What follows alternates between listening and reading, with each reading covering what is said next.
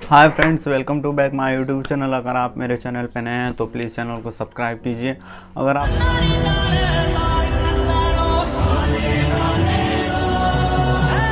आप फ्लिपकार्ट यूज़ करते हैं तो ये तीन गलतियाँ कभी मत करना जिससे आपका अकाउंट ब्लॉक हो जाए।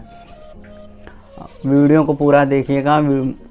तभी आपको वीडियो समझ में आएगा कि कैसे फ्लिपकार्ट अकाउंट ब्लॉक हो जाता है। इस वीडियो में आपको बताऊँगा ये तीन गलतियाँ आप कभी मत करना। जिस पहली गलती हम क्या करते हैं कि फ्लिपकार्ट अकाउंट बना लेते हैं फ़ोन में। फिर इस फ़ोन में से लॉगआउट करके किसी दूसरे फ़ोन में लॉगिन करते हैं। इससे क्या होता है कि जो आपका ये आई नंबर है फ़ोन का, वो जो फ्लिपकार्ट होता है, फ्लिपकार्ट सर्विस जो होती है, कंपनी वो वो स्कैन कर लेती है। अगर आप दूसरे में करते हैं तो वहाँ पे पता चल जाता है कि आपका अकाउंट दूसरे फ़ोन में लॉगिन हुआ है। और दूसरी गलती, सबसे बड़ी गलती क्या करते हैं हम लोग?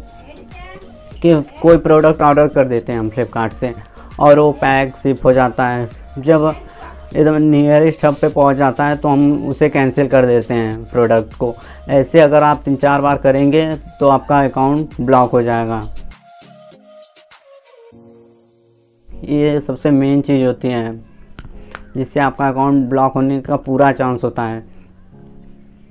अगर अकाउंट ब्लॉक हो गया तो आप कुछ भी नहीं कर सकते। अगर कस्टमर केयर में कॉल करेंगे कस्टमर केयर का नंबर हमने डिस्क्रिप्शन में डाल दिया। अगर कस्टमर केयर को आप कॉल करेंगे तो कुछ नहीं होगा। कस्टमर केयर कहेंगे, आपका, आपकी ईमेल आईडी पर एक मेल भेज दिए हैं, जिस, आप मेल पर रिप्लाई कर दीजिएगा, जिससे आपका अकाउंट अनब्लॉक हो जाएगा।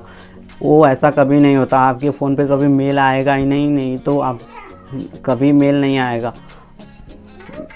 और कितना भी आप कोशिश कर लीजिए कोई भी कंप्लेन कर लीजिए कंज्यूमर राइट ने, कन, नेशनल कंज्यूमर राइट पे आप अगर कंप्लेन करने जाएँगे तो आपसे चार्ज लगेगा पंद्रह सौ दो हज़ार रुपये लगेगा फिर उसके बाद आपकी कंप्लेन होगी फिर पता नहीं मान लीजिए अगर आपका अकाउंट ब्लॉक हो गया और कोई प्रोडक्ट ऑर्डर किए डिलीवर्ड हुआ आपको कोई प्रॉब्लम आ रही है आपको रिटर्न करना है जब आप रिटर्न करने जाएँगे, तभी उसमें आपको सो जब रिटर्न रीज़न डाल देंगे, तब तब अगर अकाउंट ब्लॉक होना रहेगा तो वहीं पर आ जाएगा। High number of return your account has been block और वहाँ पे कंटिन्यू का ऑप्शन आएगा। आप वो चीज़ कभी मत करिएगा। अगर कंटिन्यू कर दिए तो आपका अकाउंट तुरंत अनब्लॉक हो जाएगा।